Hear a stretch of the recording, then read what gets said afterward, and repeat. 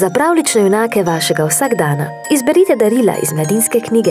A, tudi za mene imajo darile. Nehino.